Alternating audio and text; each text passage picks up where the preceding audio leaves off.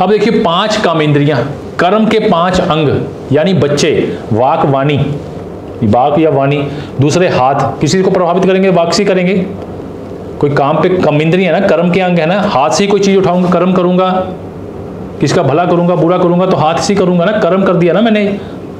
तो कर्म है, पैर से भी कर्म करते हैं, किसी कर्म की तरफ़ बढ़ रहे हैं करने के लिए तो चलना तो पड़ता है ना।